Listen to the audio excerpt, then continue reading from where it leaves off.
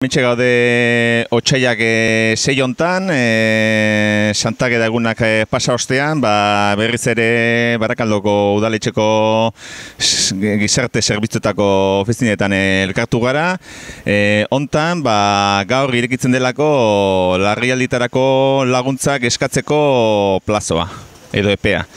Eta ordon, ba, azkenengo urtetan bezala, ba, bueno, bi gauza nahi genituzke salatu. Alde batetik eh, esan eh, azkenengo bi urtetako Bo, bi, urtetapo, bi urtetako diruko purua e, berdina ma- mantentzen jarretzen dutela, udaletxeko arduradunek, beraz e, diru, es, diru estrarik ez dutela inolaz ere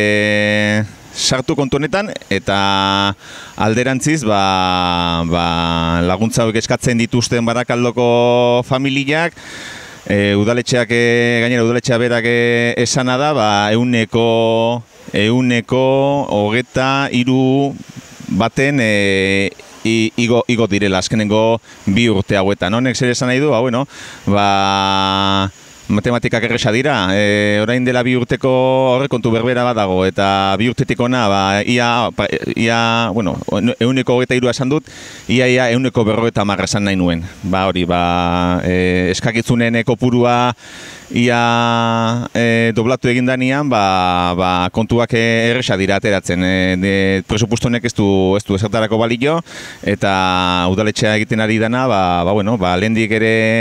e, ematen zuen dirua apurra, oraindik e, oraindik eta jende gehiagoren artean banatu, eta, eta claro, hementxen, hementxen e, mm, hipoteketarako eta eta alkilerretarako erabiltzen den diru laguntza bat esari gara eta honek zer esan nahi du, ba, bueno, ba, ba zenbat eta diru gutxiago tokatzen zaion familia bakoitzari, ba, ba, areta, areta arrisku handiagoa, ba, familia hauek e, kale gorrian e, aurkitzeko.